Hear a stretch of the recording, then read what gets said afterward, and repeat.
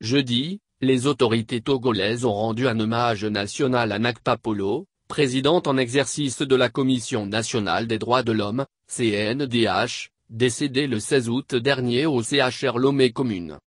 La cérémonie a été présidée par le chef de l'État Forg Nassimbe à la place des fêtes. C'était en présence des membres du gouvernement et des leaders religieux du pays.